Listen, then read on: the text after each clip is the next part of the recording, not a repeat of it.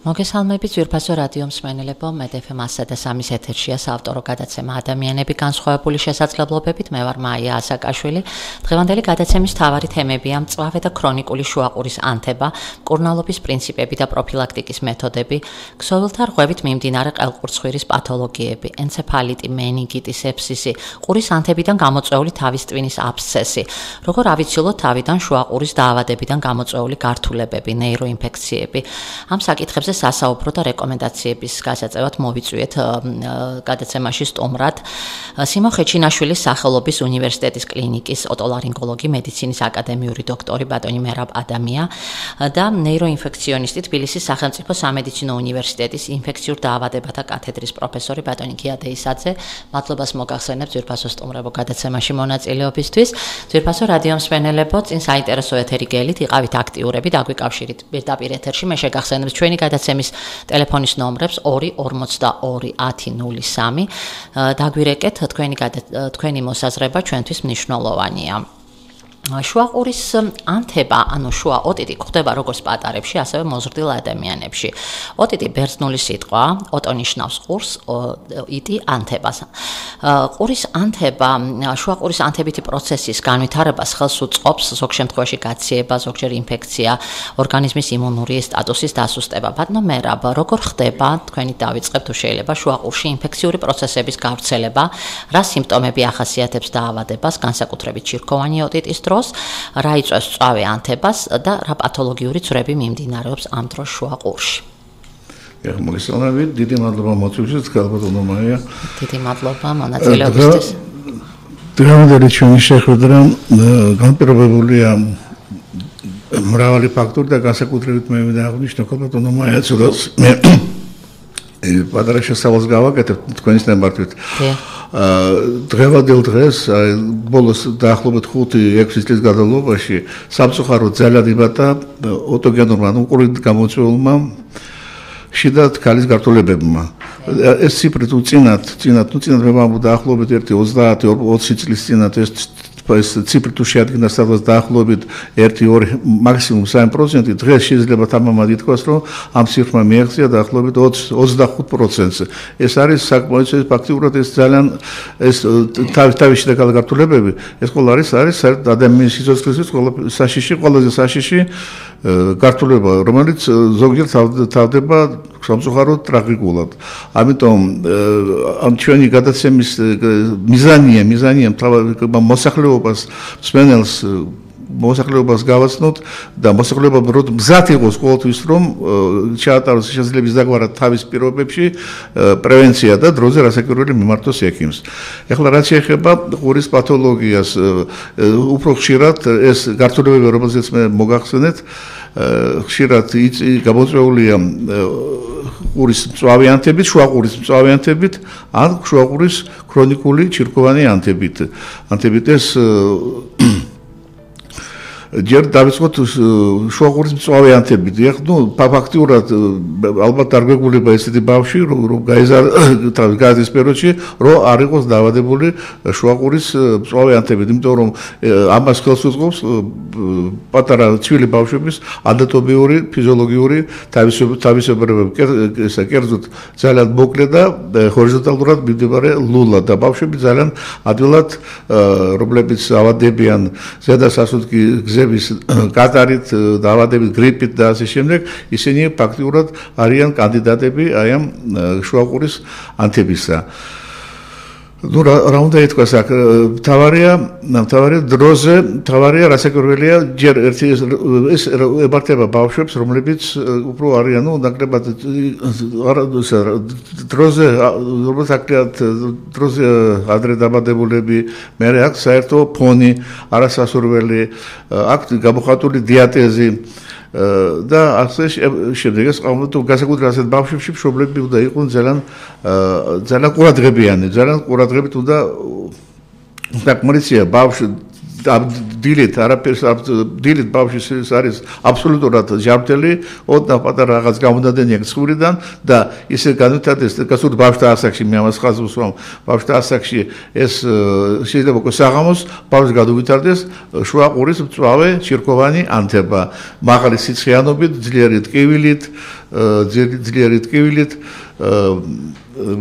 უმადობით და საერთოდ მდგომარეობა ბავშვი შეიძლება საკმაოდ დამზიმდეს. ნუ ამაზე ჩვენ ცოტა გვიან მოგასწრებთ რომ ახლა ბოლო წლებში, ბოლო წლებში ჯალა იმათა ეგრეთ წოდებულმა ელვისებურმა ფორმებმა ამ შუაყურის ანთები და აქედან გამოწვეული ელვისებური მენინგიტები. ნუ ამაზე მოგვიანებით უფრო პროცესი შევეხები ჩვენ შუაყურის შევეხებთ ჩვენ გართულებებს, გართულებებს. ძალიან დიდი მადლობა ბატონ მერაბ, შუა ოტიტის რა ფორმები არსებობს და როგორია დაავადების მიმდინარეობა თუ შეიძლება. შუა ოტიტის შუა ოტიტის ფორმები არსებობს არის არა ქრონიკული არის მწვავე არის მწვავე მე როგორც მოგახსენეთ და რაც შეეხება აქ უფრო როდესაც ჩვენ უკვე ლაბარაკობთ შუაყურის ანთების გართულებაზე აქ ფილობაში უფრო ხშირად გვაქვს ფილობაში გვაქვს მისი ქრონიკული ფორმები შუაყურის ქრონიკული ფორმები. როგორ უნდა მომკორნალოთ შუაყურის ანთებას ბატონო ერთი წამით ახლა მოგახსენეთ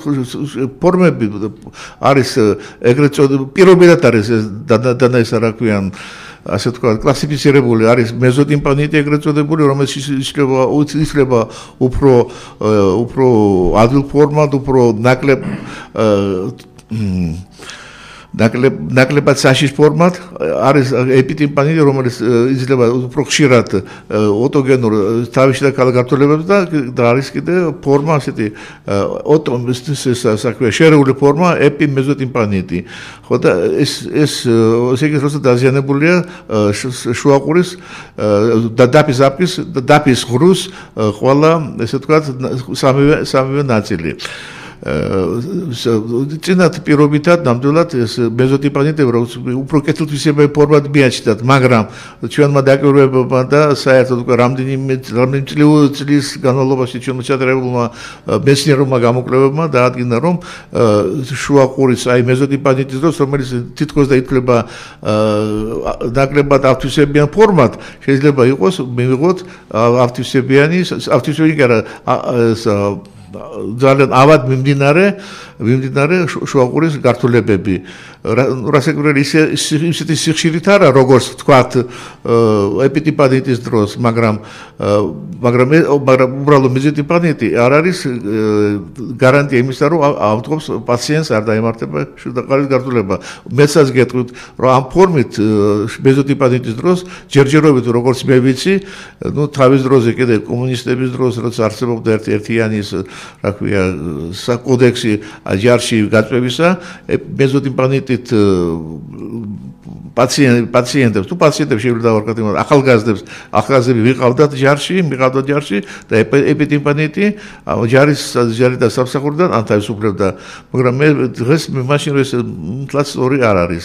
ეხლა რა შეეხება კურნალობას ნუ კურნალობა კურნალობა არის არსებობს როგორც კონსერვატიული ისე ოპერატიული კურნალობა მაგრამ აი თქვა კონსერვატიული კურნალობას უფრო ეგვდებარება ბეზოტიმპანიტები ქრონიკულ ფორმაზე ქრონიკულ ფორმაზე ლაპარაკობს და და ბეზოტიმპანიტი უფრო გავრცელებულია საერთოდ ამ სტრუქტურაში. ფაქტიურად მე ახლა დავთქვა რომ მთელ მოსახლეობაში მოსახლეობაში ესე იგი მოსახლეობაში 1% მოსახლეობისა დაავადებულია შუაყურის ქრონიკული ჩირკოვანი ანთებით. ანუ თქო და რომ გიდეთ ყოველი მეასე მეასე არის დაავადებული ამ დაავადებით და ეს ფაქტიურად არის პრინციპში კანდიდატი იმიტომ რომ არავინ დაზღული არ არის თავისი და ქალა გართულებებისაგან ძალიან დიდი მადლობა ბატონმერაბ ჩვენ დროებით გავდივართ ეთერიდან რეკლამის დროა. ჩვენს ეთერში ძვირფასო რადიო მსვენელებო ცოტა ხანში ჩვენ დაგიბრუნდებით ჩვენს სტუმრებთან ერთად ძვირფასო რადიო მსმენელებო, ჩვენ დაგიბრუნდით პირდაპირ ეთერში ჩვენ სტუმრებთან ერთად. ჩვენი მე შეგახსენებ ჩვენი გადაცემის ტელეფონის ნომრებს 242 1003 დაგვირეკეთ, დაგვიკავშირეთ პირდაპირ ეთერში. თქვენი მოსაზრება ჩვენთვის მნიშვნელოვანია. ბატონო მერაბ, ჩვენ საუბრობდით მწვავე ოტიტის გართულებულ ფორმებზე. ერთ-ერთ მწავე ფორმა თქვენ განიხილეთ ეპიტიმპანიტი, ანუ სვენას მივაწვდით ინფორმაციას, რომ ეს არის, როდესაც დაფის აპკის კდება ზედა კიდესთან ავატყოფი ანდროს უჩივის ჩირქოვან გამონადენს, რაც იწვევს ანთებას, ხორცმეტს, პოლიპების წარმოქმნას, რაც აფერხებს ჩირკის გამოსვლას და აძლიერებს დამშლელ ზემოქმედებას. ანუ ამ დროს ანთებითი პროცესი გადადის ზვალზე და იწყება ძვლის დაშლა, რომელიც თანდათან ჩაითრევს სასმენს ძვლებს და დაფის ღრუს კედლებს. როდის ხდება გამწვავება?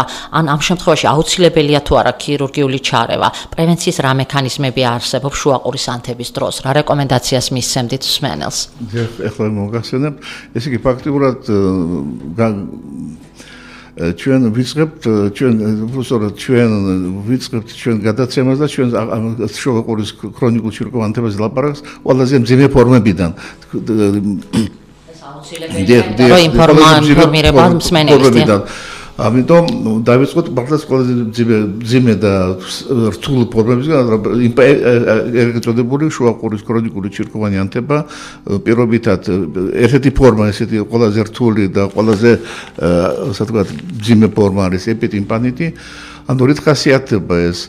ეს არის ქრონიკულად მიმდინარე ქრონიკული პროცესი შუაყურში შუაყურის ღრუებში. ეს არ არის მარტო ვთქვათ დაფის ღრუ. აქ აქ ეს ამ შემთხვევაში ზიანდება არა მარტო დაფის ღრუს და შუაყურის სისტემის ვთქვათ ლორწვანი გარსი. არამედ პროცესი გადადის პროცესი გადადის მის ძლოვან ნაწილზე კედლებზე კედლებზე რომელიც ძალიან ემიჯნება ფაქტიურად ტვინის ტვინის გარსებს ტვინის გარსებს ამ შემთხვევაში სეკვილობაში მაქვს თავის კალას, ესე იგი შუა და უკანა ფოსო. აქ ამ შემთხვევაში ინფექცია უფრო ხშირად, ნუ აქ არის სამრანი გზა ინფექციის თქვა განვითარებისა თუ თუ დროზე არ დაიწყო არ ჩაუთ ჩაიტარა.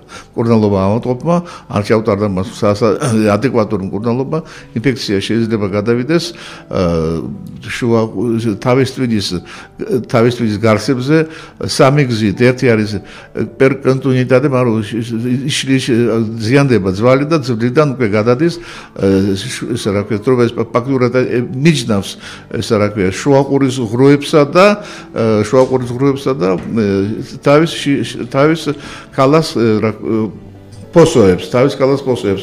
კადლოში მაქვს შუა და უკანა პოსო. ამ შემთხვევაში ინფექცია გადადის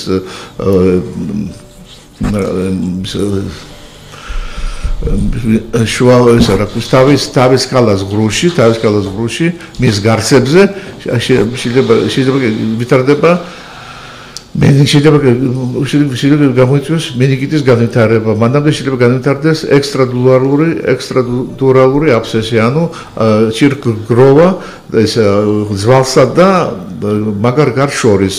აქ ნუ ბევრი ვარიანტები შესაძლებელი. შემდეგ არის არ არის გამორიცხული ლიმფოგენური გზა გავრცელებისა და კიდე მესამე ასე გემატოგენური გზით ცელდება. აი სწორედ გემატოგენური გზა გავრცელებისა ეს არის ძალიან ძალიან ყველაზე უფრო საშიში და ყველაზე უფრო ესეთი ფორმა. ძალიან მე მოგახსენეთ, აი რომელიც შეიძლება გამოიწვიოს ელვისებური, ელვისებური მენინგიტი. აქ უკვე აქ უკვე აქ აქ დღეებზე კი არა მიდის ლაპარაკი პაციენტის პაციენტის მდგომარეობის გაუარესების არამედ საათებზე ლაპარაკი. შეიძლება ელვისებური ფორმა განვითარდეს 2, 3, 4 საათში და აქ საჭიროა ელვისებური ფორმა სჭირდება ელვისებური დახმარება Freedan. Eu o Freedan. რაც შეეხება ჩვენ რაც შეეხება ამ პაციენტთან კურნალობის საკითხს საკითხს მე შემთხვევით კი არ ვთხოვე და არ მოვიწიე ბატონი პროფესორი გიადეისაძე ამ გადაცემაში იმიტომ რომ ასეთი პაციენტების კურნალობა რასაკვირველი არ არის მარტო ოტოლარინგოლოგის ანუ ყელყურცვირის ეკიმის პოზიცია. აქ აქ ერთებიან ამ საქმეში. ნუ პირველ რიგში რასაკვირველი ნეიროინფექციონისტი ჩვენ ძალიან დიდი რამდენიმე ათეული წელია რაც თანაშორლობთ ბატონ გიასთან ამ ავტოფების კურნალობის საქმეში და ამის გარდა ნუ კიდე რასაკვირველი საჭიროა ავტოფი დაახლოებით ითხოვს 5-6 სპეციალისტის კონსულტაციას. ეს არის თერაპევტი ან პედიატრი ეს არის აუცილებლად ცალკე შეიძლება ესა რადიოლოგი ნეიროპათოლოგი და და სხვადასხვა პროფილის ექიმები თუ კიდე რამე რა ქვიან დაავადება აქ შახრიანი დიაბეტი უფრო ხშირად მოხდელობაში ან სხვა ინფექციები ქრონიკული ინფექციები თქვა ტუბერკულოზი ან მალარია, ну მალარია ახლა იშვიათად, ან ტუბერკულოზი, ან ათაჟანგი და შიცი, ამ შემთხვევაში ჩვენ მიმართავთ კიდევ დამატებით კონსულტაციებს. მაგრამ ძირითადად, ძირითადად, ძირითადად ამ ავტომობილის ყურადღების საქმეში მონაწილეობას მონაწილეობა მიმდინარეობს ძირითადად ნეიროინფექციონისტი ბავშვებში ბატონი გია ну ესე ზოგადად ნერვის და ოტოლარინგოლოგ შორდია სმენელია ფასე გისმენ თქვენ პირდაპირ ეთერში ხართ. გისმენ თქვენ პირდაპირ ეთერში ხართ. გითხო ბატონო მე ბატონო მე მოგაკის მოგასვენოთ მაქვს შეკითხვა გისმენ გისმენ შვილიშვილს აქვს ხშირად წონასწორობის დაკარგვა.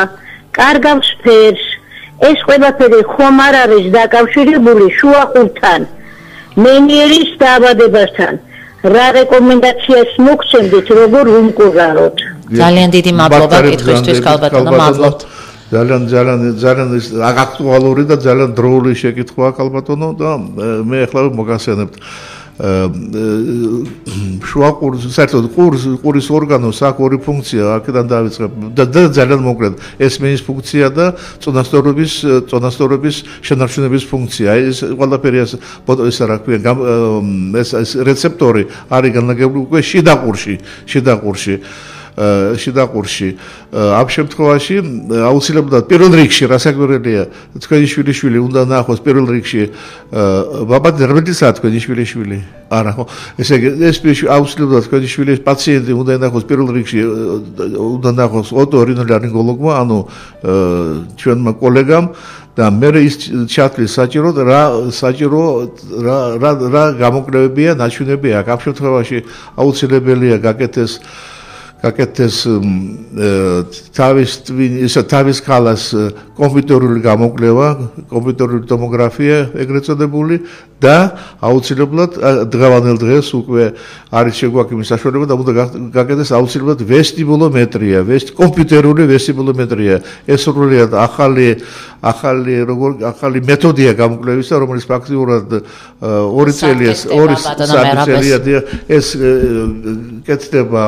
ახლა მოგახსენებთ არის კლინიკა აუდიოლოგიური სამეცნიერო ცენტრი კლინიკას ქვია ხევანიშვილი ჯაფარიძის კლინიკა და ეგ ამ საკითხთან დაკავშირებით მუშაობს ქალბატონი ეკა ხარხელი რომელსაც რომელსაც აკეთებს აი კომპიუტერულ კომპიუტერულ ვესტიბულომეტრიას და რომლის მონაცემები რომლის მონაცემები და რომლის დახმარებით ჩვენ უკვე რამდენიმე ორი წელია თუ სამი წელი მეტი არა რაც ჩვენ თანამშრომლობთ და ფაქტიურად ძალიან ძალიან საჭირო ინფორმაციას გვაძლევს გვაწვის ქალბატონი ეკა ხარხელი. ამიტომ ჯერჯერ უნდა ნახოს ექიმო ძალიან დიდი მადლობა ესე კი ეს შესაძლებელია დაკავშირებული იყოს ვესტიბულარული აპარატის ფუნქციის დარღვევასთან ანუ როგორც ქალბატონმა ბრძანეთ მენიერის დაავადებას. ანუ საჭირო არა მარტო მარტო მენიერის დაავადება არა რა კიდე სხვადასხვა დაავადებებია შეიძლება იყოს აბსოლუტურად გამოწვეული არა მენიერის დაავადებით არამედ აქ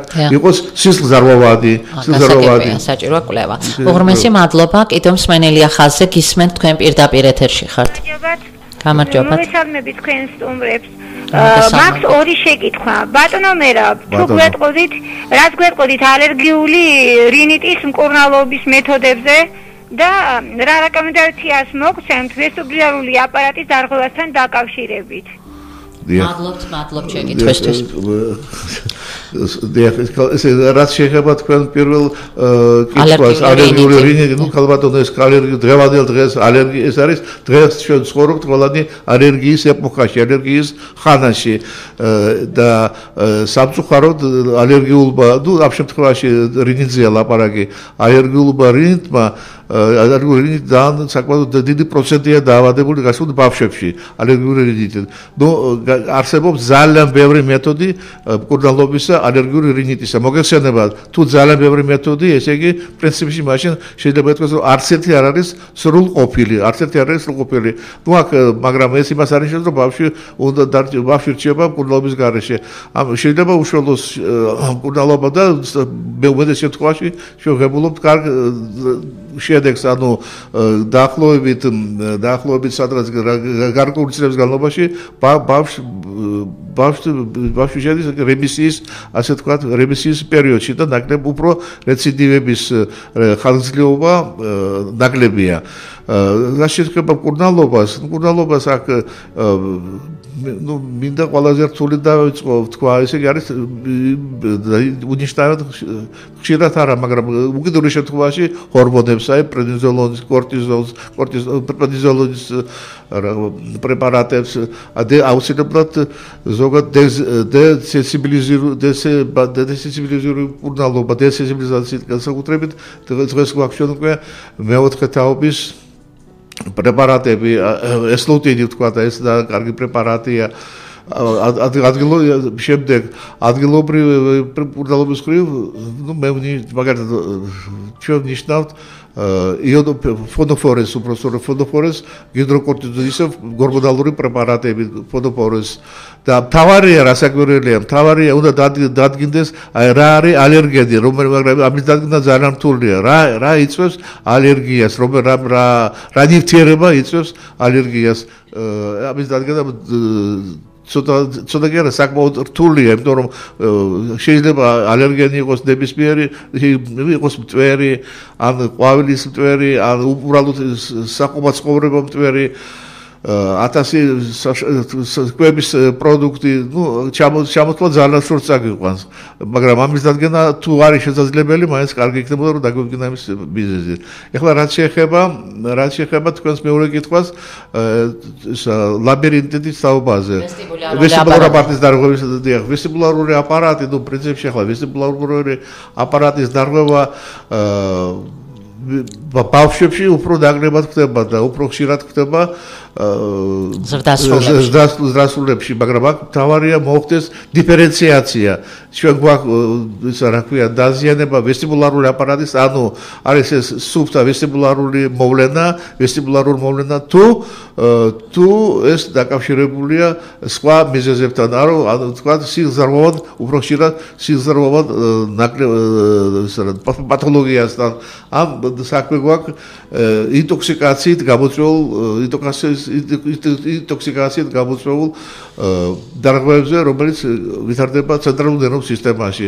მაგრამ თქვენ დამისკენ შეკითხვა იმენა ვესტიბულარულ აპარატზე და ამის დიფერენციაციას შენივრად დღეს დღევანდელ დღეს უკვე ჩვენ მაგის საშუალება გვაქვს ეს დავადგინოთ ვესტიბულის კომპიუტერული ვესტიბულომეტრით, რომელიც მე წეღალ მოახსენე წინა სპედალს. ძალიან დიდი მადლობა. ბატონო რა ჩვენ საუბრობდით შუაყურის ანთების წვავე ფორმებზე რადგან ზოგ შემთხვევაში საზოგადოებას არ აქვს სათანადო ინფორმაცია ამ საკითხთან დაკავშირებით.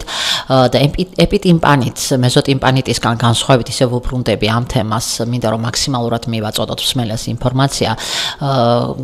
აქვს სუდი პროგნოზი როგორც თქვენ ბრძანეთ თუ დროულად არ ჩატარდა მკურნალობა მოსალოდნელია სიცოცხლისათვის საშიში გართულებები ჩირქოვანი ლაბირინთიტი ჩირქოვანი მე მენინგიტი, სიგმოიდური სინთეზის თრომბოზი, სეფსისი, ტვინის აბსცესი. როგორ მკურნალობენ ქრონიკულ ოტიტს? რა რეკომენდაციას მიაწვდით მსმენელს? ქრონიკული ოტიტის მკურნალობა, რადგანაც ეს ფაქტიურად ქრონიკული ქრონიკული ჩირქოვანი პროცესი ამ შემთხვევაში ლაპარაკი ეპიტიპადიძე, ეს ეს როგორ ეს არის ეს არის ფაქტიურად დაბალი ეს ხაზგლივი უბრალოდ მოქმედების პაპატია დამგოთქვა და ცოტა ვულგარული სიტყვაში ბომბი რომელიც არის ის კაცმა ჩვენ ასე ვაფრთხილებ და ასე ვაფრთხილებ და ასე ველაპარაკებით ჩვენს პაციენტებს. ეს შეიძლება ну ჯვარიწერია ყოველას ბომბი აფეთქდეს დღეს შეაფეთქდეს ერთ კვირაში ერთ წელიწადში ათ წელიწადში შეიძლება საერთოდ არ აფეთქდეს. ამიტომ ეს ფაქტურად არის საკმარისია რაღაც ფაქტორების როგორც გარეთა ფაქტორების ისე ორგანიზმში და ფაქტორების შერწყმა და შეიძლება გავითარდეს ოტოგენური ოტოგენური თავისი თავისი და ქალის გართულებები ბედი რაც ჩამოთვალა ხალხობა ბაიამ მენინგიტი ტრომბოზი სინუს ტრომბოზის ოტოგენური სეპსისი ტვინის აბსესი ერთი სიტყვით მე მინდა პატარა სიცხადე შევიტანო და სიახლე უბრალოდ სიახლე კი არა შეიცვალა ტაქტიკა დღევანდელ დღეს შეიცვალა ტაქტიკა. კერწოთ აუტყოფები რომლებიც არიან დავადებული ტვინის თავის ტვინის აბსესით. წინათ ეს ეს იყო პირველ ეს იყო ისეთი კატეგორია აუტყოფებისა რომელიც საჭიროებდა რომელიც მოყავდათ თუ იყო გამოწვეული ეს ოტოგენური თუ იყო გამოწვეული იყო შუაგულის ქრონიკული ჭირკვატებით ეს ავტომობილი მოყავდა სპეციალიზირებულ კლინიკაში. უკაცრავად სპეციალიზირებულ კლინიკაში და თუ დასტურდებოდა თავის ტვინის აბსესი კეთებოდა ну როგორ დასტურდებოდა? დასტურდა დასტურება იყო ოპერაცია მაგრამ თუ ეჭვი იყო თავისთვის აფსეზე აკეთებოდა ოპერაცია ოტორინოლარინგოლოგის მიერ. დღეს თუ ოტორინოლარინგოლოგიურ კლინიკაში მოხდა პაციენტი და სადაც არის ეჭვი ოტოგენურ აფსეზე და ის და ამ და დღეს უკვე დღევანდელ პირობებში სადაც უკვე ჩვენ ხალთ არის ისეთი გამოკვლევის მეთოდი როგორც არის მაგნიტორეზონანსული ტომოგრაფია და კომპიუტერული ტომოგრაფია ამ შემთხვევაში ჩვენ ჩვენ ოტოლარინგოლოგი უკვე თავისუფლად შეუძლია მიიღოს გადაწყვეტილება და გადაწყვეტილება ისეთი რომ პირველ რიგში უნდა გაკეთდეს არა ყურის ოპერაცია, არამედ სასწრაფოდ უნდა გადაყვანილიყნას ნეიროქირურგიული კლინიკაში და ამ ოპერაციას შეასრულებს უკვე ნეიროქირურგი. იმის შემდეგ, როდესაც ამოტყობის მდგომარეობა გაუმჯობესდება და ამოტყობი გამოვა უკვე ამ მდგომარეობიდან, მე რომ არ განმეორდეს კიდე თავის ტვინის აბსესი, შეიძლება გამეორდეს, რომ არ განმეორდეს, ამიტომ ამოტყობისთვის იქნება ეს პროფილაქტიკური ოპერაცია შუაყურის ეს რადიკალური ოპერაცია შუაყურზე. ეს ეს არის ფაქტიურად ოპერაცია პრევენციული ოპერაცია. პრევენციული ოპერაცია კეთდება შუაყურზე ამის მინდოდა და საერთოდ და საერთოდ კურალობა ასეთი ოპერაცია და სხვა თქვა თუ ეს სეპსისისა, ციდუს ტრომბოზია, სეპსისია, თუ ბენიგიტია, რასაკურველი ეს ამასე მოგვიანებით ვისაუბრეთ. მანომერა ყურის ტკივილის დროს ზოგიერთი ადამიანი მიმართავს თვით კორნალობას, ისე რომ არ იცის ყურის რა ნაწილია დაზიანებული, იწვეთებს, წვეთებს, სხვადასხვა ანტიბიოტიკებს, ქაფურის პირს და ასე შემდეგ. და ხშირად თვით კორნალობით უფრო მეტ საფრთხეს უქმნიან საკუთარ ჯანმრთელობას. ამ საკითხთან დაკავშირებით რა რეკომენდაცია ინფორმაციას მისცემთ სმენელს. ამ დაკავშირებით მინდა ვთქვა, რომ ეხლა დღეს თავის დროს სანამ არ იყო ინტერნეტი, ну, სანამ არ იყო ინტერნეტი, იყო გამოდიოდა და გამოდის ეხლაც გამოდის ასეთი ჟურნალი თქვენ მოგესალმებით ყველა ზდაროვეზე, ზდაროვე, რომელზედაც ხელმოწერა იყო ძალიან შეზღუდული და ძალიან ლიმიტირებული, მაგრამ ჩვენი მოსახლეობა მაინც ყოველთვის ახერხებდა და მე ჩემს თავს უფლებას მივცემ და თქვა ის რომ ბელსიკეთესთან ერთად ამ ინფორმაციამ რომელიც იბეჭდებოდა აი ამ ჟურნალში ზოგჯერ სასიკეთო არ თარდებოდა იმიტომ რომ ყველა მიგზნო თავი ექიმად ყველა მიგზნო თავი წოდნეთ და იწებენ და ფაქტიურად იყო თვითკურნალობა გადადიდნენ თვითკურნალობაზე და დღეს განსაკუთრებით დღეს უკვე ასე თქვა შეიძლება იქნას ინტერნეტული საშინელება ხდება. ინტერნეტული საშინელება ხდება. ექიმობა საერთოდ არ არის საჭირო იმიტომ რომ ყველა ექიმი გახდა ყველა ფლობს ყველას აქვს კომპიუტერი, ყველა ფლობს ინტერნეტს და მიმართავე აი ამ რა ქვიან თვით კურნალობას. ეს რასაკვირი არ არის სტორი. თავარი მაშინ რასაჭიროა საერთოდ ექიმები და რასაჭიროა სამედიცინო ინსტიტუტის დამთავრება და და ექიმის მომზადება, ექიმის მომზადება, რომელსაც უკვე ჭირდება წლები და ახო 15-16 წელი. ამიტომ პირველ რიგში, პირველ რიგში თუ ეს პატარა ბავშვი მშობლა უნდა მიიყვანოს აუცილებლად, აუცილებლად სპეციალისტთან და თუ ეს მოზდილია, ну მოზდილი აუცილებლად უნდა მივიდეს სპეციალისტთან, იმიტომ რომ სამწუხაროდ, სამწუხაროდ ბოლო ხანებში, ბოლო ხანებში აი თვითკორდალობის შედეგად ჩვენ მივიღეთ ჩვენ ვღებულობთ დაგვიანებულ შემთხვევებში, დაგვიანებულ შემთხვევებში ზოგჯერ როდესაც უკვე ოპერაცია კეთდება უკვე ფაქტიურად ტერმინალურ სტადიაში. სამწუხაროდ ამის მოწვევები ჩვენ ვართ. ძალიან დიდი მადლობა. დროებით ჩვენ გავდივართ ზურფასო რადიო მსმენელებო ეთერიდან რეკლამის დროა ჩვენს ეთერში და ცოტა ხანში დაგიბრუნდებით ჩვენ სტუმრებთან ერთად.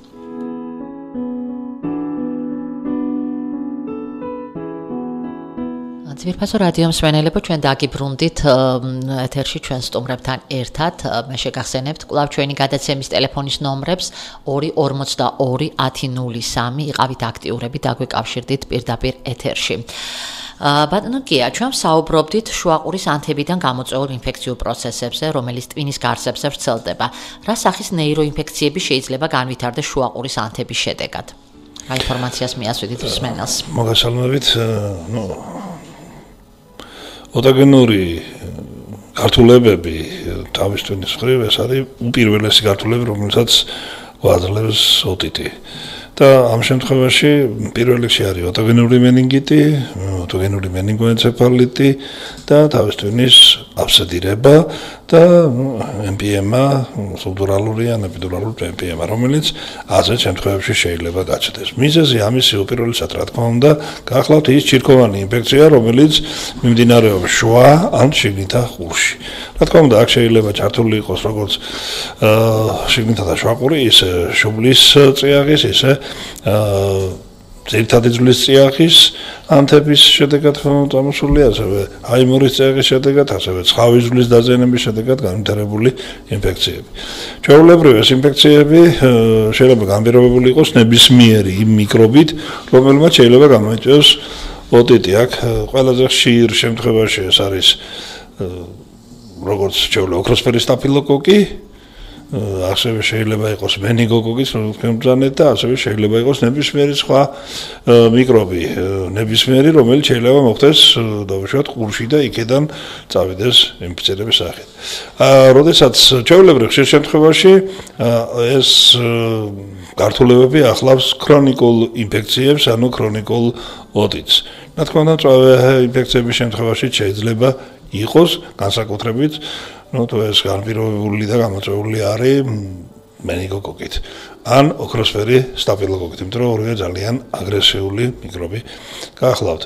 გართულების მიზეზი ამ შემთხვევაში არის პირველ რიგში უშუალოდ როგორც ბატონო მერაბა ბძანა, ძალიან მჭიდრო და ახლო ურთიერთობა შიგნითა ყურ შიგნითა ყურისა თავის ტვინის გარსებთან და უშუალოდ თავის ტვინთან პრაქტიკულად იქ მანძილი 2-3 მმ-ს არ აღემატება. ამდენად იგარსებული მძიმე ინფექცია ადვილად თავისუფლად შეიძლება პირდაპირ კონტაქტით მოხდეს თავის ტვინში.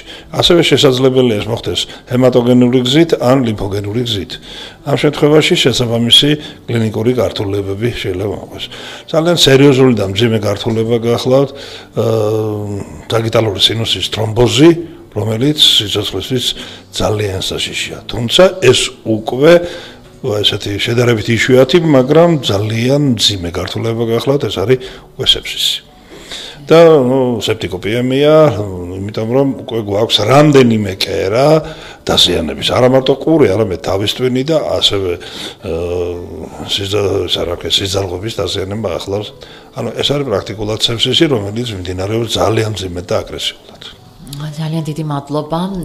ვანოკია, რას გვეტყოდით მენინგოკოკური ინფექციის შესახებ? გადამდებია თუ არა ეს დაავადება და რა ასაკში ავადდებიან ყველაზე მეტად მენინგოკოკური ინფექციით? მენინგოკოკური ინფექცია გახლავთ ჩვეულებრივი წეთოვანი ინფექცია, რომელიც გადადის როგორც აი ესეთი უშუალო კონტაქტის ზით, ასევე შეიძლება გადავიდეს საგნებითაც. ანუ ის ნერწყვი, რომელიც მოხდება რომელიმე საგანზე და შემდეგ მოხდება პაციენტის წვირხახაში ეს მაგალითად ბავშვებში ძალიან ადვილია სათამაშოებზე, ჭიკაზე, თებსზე, კონცე შეიძლება გადაეცეს სამზითაც, მაგრამ უფრო ხშირი ეს არის წვეთოვანი ზით უშუალო კონტაქტით. უფრო ხშირია ეს დაავადება ბავშვებში, აა ჩვენ ნუ დაახლოებით სამი ჩვენი ასაკიდან 5 წლამდე ასაკის ბავშვებში იქ სადაც ძალიან ჭიდრო კონტაქტი არის. თქვენ მოგესალმებით რომ ბავშვები თამაშობენ ხოლმე ძალიან ახლოს ახლოს გულის ვაფემას რომ ცხვირი ცხვირზე აქვს მიდებული, სუყურში ჩარჩოჩულებენ სულ რაღაცას აი ეს ძალიან ჭიდრო კონტაქტია. განსაკუთრებით ეს ხდებოდა საბავშვო ბაღებში და განსაკუთრებით იმ შემთხვევებში, როდესაც გარეთ ცუდი ამინდი იყო და ბავშვები სასეირნოდ არ გაყავდათ. აი ამ ჩაკეტილ სივრცეში თბილ გარემოში ბავშვებს შეიძლება ემართებათ ხოლმე ესეთი ინფექცია. კი ბატონო ეს არის ძალიან სერიოზული ძიმე აგრესიული ინფექცია რომელიც შეიძლება ასევე ოტიტიც გამოიწვიოს ისევე როგორც რამდენიმე, ну, ახლა მენინგოკოკური ინფექცია არ არის მხოლოდ მენინგიტი, მენინგიტი ეს ერთ-ერთი ქართულება გახდათ მენინგოკოკური ინფექციის ყველაზე ხშირად ეს არის მენინგოკოკ მენინგოკოკური ნაზოფარინგიტის სახით კმევლინება, ანუ ჩვეულებრივი ზოგჯერ ვერც ვარჩევ ჩვეულებრივი გრიპისაგან ეგრეთ წოდებული ისე იმდინარეობს. მაგრამ შეიძლება მოგწეს აი მენინგოკოკური ინფექცია, მენინგოკოქცემიის სახით, მენინგოკოკური ინფექცია, მენინგიტის სახით, მენინგოკოკური ინფექცია ნაზოფარინგიტის სახით, მენინგოკოკური ინფექცია ოტიტის სახით და ასე შემდეგ. მე დიდი მადლობა. ნოგი არა არის ენცეფალიტის გამომწვევი მიზეზი და რამდენი სახის არსებობს? რა სიმპტომები აქვს ამ დაავადებას და როგორია კლინიკური ფორმები მისი? ნუ ენცეფალიტი, ახლა მოგახსენეთ მენინგიტი ეს არის თავის ტვინის გარსების ანდება. ხოლო რაც შეეხება ენცეფალიტს, ეს არის უშუალოდ თავის ტვინის ანთება. ყველა ის მიზეზი რაც იწვევს მენინგიტს, ყველა მიზეზმა შემდგომ გამოიწვევს ენცეფალიტი. კიდევ კი მეორევთ, გაცილებით რთული და მძიმე დაავადება არის ენცეფალიტი, იმდენად რამდენადაც ამ დროს ვითარდება თავის ტვინის, უშუალო ტვინის ქსოვილის დაზიანება.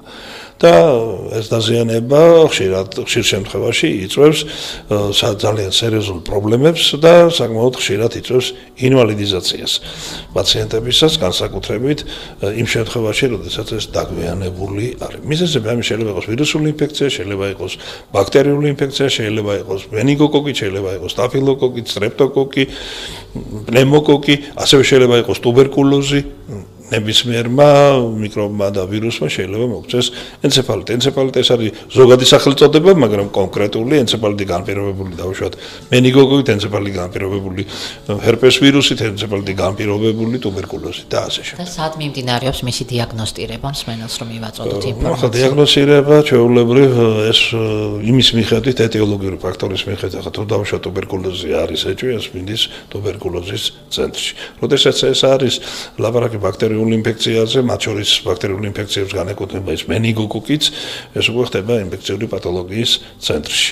ახლა ვირუსული ინფექციების შემთხვევაში დიფერენცირება საკმაოდ რთულია და ამდენად ბავშვთა საავადმყოფოებში ხდებიან, რა თქმა უნდა, შემდგომში უკვე საჭიროებენ უკვე დაკონკრეტებას და ამის მიხედვით კურნალობის შესაბამისად წარმართვას. ძალიან დიდი მადლობა. ისევ და ისევ ინფექციური პათოლოგიის ცენტრი. მანდში რეკლამა გამომდის ჩემი კლინიკის, მაგრამ ეს ასე, იმიტომ რომ ნეიროინფექციები. ეს უბრალოდ საჭიროა იმისთვის, რომ ინფორმაცია მივაწოდოთ სმენას მაქსიმალურად. ბატონო, კი, რას გვეტყოდი თავის ტვინის აბსცესის, ტვინის ნივთიერებაში ჩირქის კეროვანი დაგროვების შესახებ, რა სიმპტომები აქვს, როგორია დაავადების მიმდინარეობა და რა გამოკვლევების ჩატარებაა საჭირო დიაგნოზის დასაზუსტებლად. კი, ბატონო, მოგახსენებთ, ახლა თავის ტვინის აბსცესი, ეს არის თავის ტვინის შემოფარგლული ჩირქოვანი ინფექცია, რომელიც მოდი ხა გასაგები რომ იყოს საზოგადოების ფართო საზოგადოების ეს და ახლობით ძირმაგარა რომელიც გაჩნდა თავის ტვინში. ესე დავარქვათ. თუ რა თქმა უნდა, სუმთლად ესე არ არის, მაგრამ საზოგადოებისთვის უფრო მარტივად გასაგები რომ იყოს, რა თქმა უნდა, ყველა არ არის ექიმი და გაცნობიერებული მედიცინაში, ეს არის ძირმაგარა რომელიც გაჩნდა თავის ტვინში. აი ეს პრობლემა გახლავთ. ისევე როგორც ის ძირმაგარა, რომელიც გაჩნდა კანზე და კანქვეშ, უნდა გაიხსნას, ასევე ეს უნდა გაიხსნას და კანის ძირმაგარა, კანის ჩირგროვა ადვილი სადეკნოც და ამისთვის ჭირდება სპეციალური გამოკვლევები, ეს არის პირველი თავისთავად კომპიუტერული ტომოგრაფია, თავისთავად მაგნიტორეზონანსული კვლევა და უკვე შემდეგ ნეიროქირურგიული ჩარევა. რა თქმა უნდა, ანტიბაქტერიული მკურნალობის ფონზე, ანუ ის ანტიბიოტიკები ყველაფერი უნდა გაუკეთოს და პარალელურად ჭირდებათ ესეთი ძალიან კომპეტენტური და ძალიან კარგი ნეიროქირურგების ჩარევა, იმიტომ რომ ქირურგიულად გახსნის garaშე უხშირეს შემთხვევაში ეს აბსესები არ რჩება. ძალიან დიდი მადლობა რა. რა სიმპტომები აქვს ამ ტვინის აბსესს და როგორ უნდა უმკურნალოთ მას? Ну კიდე გიმეორებ ტვინის აბსესის სიმპტომატიკა დამოკიდებული არის იმაზე თუ რა უმბანშია თავის ტვინის რომელ ნაწილში განვითარდა შესაბამისად იმისა იმიტომ რომ თავის ტვინის ყველა ნაწილს შუბლის წილებს, თხემის წილებს, კეფის წილებს, ნათხემს ყველა თავთავისი ფუნქცია აქვს. მაგალითად ნათხემში არსებული აბსესი იწვევს კოორდინაციის დარღვევას და ადამიანს აქვს ესეთი ესეთი სიმპტომები როგორც თვალ ადამიანს იმიტომ რომ ნათხემი არის წონასწორობის და კოორდინაციის ცენტრი და ადამიანი ამ დროს ემშვ. აი ესეც სიმპტომები. მაგალითად თუ ეს მოხდება შუბლის წილში, შუბლის წილს აქვს ნესტიური ანუ კოგნიტური ფუნქციები, რომელიც ადამიანს ურთიერთობის აი მაშინ უკვე აღრევა ხდება ამისი. როდესაც არის პრემოტორული, ანუ თხემის წილებში, მაგ შემთხვევაში შეიძლება იყოს დამბლები და ასე. ანუ კონკრეტულად ამ სიმპტომების გამოხატულება დამოკიდებული არის იმ ნაწილზე თავის ტვინის, სადაც განვითარდა ეს. ზოგჯერ შეიძლება ახდეს ცხელება, ზოგჯერ აბსოლუტურად არ იყოს ცხელება. ახლა ეს დამოკიდებული და დაკავშირებულია იმასთან, თუ რამდენად რის რის ფონზე განვითარდა ეს. არსებობს ცივი აბსცესები, არსებობს ცხელი აბსცესები, ასე რომ ეს უკვე მეორადი სიმპტომატიკა. კიდევ მეორედ კლინიკური გამოვლინებისთვის ყველაზე მნიშვნელოვანი დიაგნოსტირების უკროსადად ვაპატიეთ, ყველაზე მნიშვნელოვანი არის კომპიუტერული ტომოგრაფია და თავისთავად მაგნიტორეზონანსული კვლევა. კურნალობის თვალსაზრისით, ანტიბიოტიკოთერაპია და ქირურგიული ჩარევა ეს ერთდროულად უნდა მოხდეს და ერთდროულად კეთება, იმიტომ რომ არ შეიძლება ანტიბიოტიკის გარეშე ჩატარდეს ოპერაცია და არ შეიძლება ოპერაციის გარშემო მარტო ანტიბაქტერიული თერაპია. ძალიან დიდი მადლობა რაც შეეხება სეფსის სეფსისთან დაკავშირებით რას გეტყობთ? ნუ სეფსთან დაკავშირებით შემიძლია გითხრათ ის რომ ეს არის ერთ-ერთი ურთულესი და უმძიმესი დაავადება რომელსაც აქვს ძალიან ფართო პროფილი, რომელიც შეიძლება განვითარდეს ისეთი უმნიშვნელო დავუშვათ ჭრილობისგანაც კი, ნაკაწრისგანაც კი და შეიძლება განვითარდეს მეორადად ნებისმიერი სხვა ჩირქოვანი ინფექციის ფონზე. მათ შორის, აი როგორც ჩვენ აგერთქვით, ოტიტის ფონზე. ჩვენ ასეთი შემთხვევები ძალიან ბევრი ქონია და ვიმუშავე მე და ბარტო მერავს ერთად, მაგრამ ამავე დროს კიდე მეორე შეიძლება ძალიან უმნიშვნელო ჭრილობაც კი შესაძლებელია გახდეს სეფსისის, ასე ვთქვათ, მიზეზი. შემიძლია გითხრათ ერთი შემთხვევა გავიხსენო, ეს იყო ძალიან დიდი ხნის წინ, მაშინ როცა სრულიად ახალგაზრდა ექიმი ვიყავი. 16 წლის გოგონა მოიყვანეს და თავის არეში, შუბლის არეში ქონდა პატარა ესეთი ჩირქოვანისა რომელიც ეგრეთ წოდებული არ ვიცი რა ქვია ამას. ნევიდიმკა ხო? ესეთი რაღაც არის. აი პატარა გოგონა. აი ნევი თვის სამაგრით აი ესეთი მოიჩიჩნა ეს. 25 დღის მანძილზე აპარატზე იყო შეერთებული და უმძიმესი სეფსისი, უმძიმესი მენინგოენცეფალიტი, ფილტვების პრობლემა, ღვიძლის პრობლემა, თირ ყველანაირი პრობლემა ჰქონდა. გამოვიდა მდგომარეობიდან, გადარჩა, მაგრამ 25 დღის მანძილზე კურონდოთ. თითქოს ერთის შეხედვით ძალიან უნიშნელო რო არ მოეკიდა ხელი შეიძლება არც არაფერი დავწეროთ. ძალიან დიდი მადლობა ბატონო გია და ბატონო მერაბ. მინდა ერთი შეკითხვა დაგისვათ. ჩვენი გადაცემა მოგეხსენებათ შეზღუდული შესაძლებლობის მქონე ადამიანებს და თემატიკას და პრობლემატიკას აშუქებს ამავე დროს გარდა სამედიცინო პროფილისა. მოგეხსენებათ რომ ჩვენთან ახლა ჯანდაცვის სისტემაში მიმდინარეობს რეფორმა, ჩვენ გადავდივართ სამედიცინო მოდელიდან სოციალურ მოდელზე. საინტერესოა თქვენი როგორც სპეციალისტების ხედვა, ექიმების ხედვა შეზღუდული შესაძლებლობის მქონე პირთა პირებთან მიმართებაში.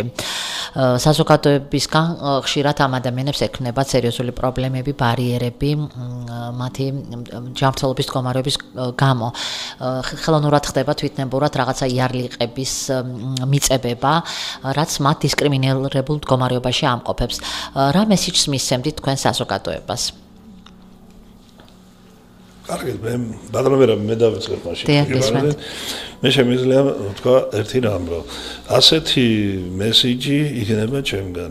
ექიმები როცა მოდის თქვენთან, ის არის პაციენტი, როცა თქვენთან არის, ის არის ჩვეულებრივი ადამიანი. ვინც არ უნდა იყოს ის, იმიტომ რომ ნებისმიერი ჩვენგანი მათ შორის მეც შეიძლება ვიყო პაციენტი, როცა მივდივარ ექიმთან.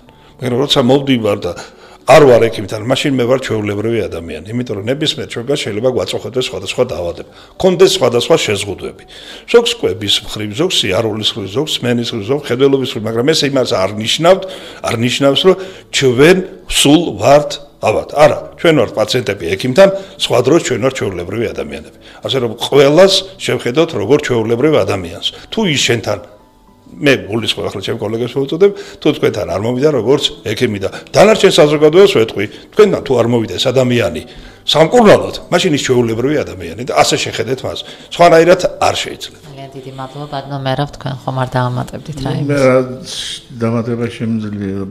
ეს ფაქტიურად აქ ლაპარაკია უკვე იმაზე რომ ნამდვილად უნდა იყოდეს პაციენტ თქვა ერთი პირობითა თქვა პაციენტები ნუ ეს ჯგუფი მოსახლეობისა იყოს უნდა თქვა ასე იზოლირებული თქვა გარიყული თუ უნდა თუ პირიქით თუ ინტეგრირებული საზოგადოებაში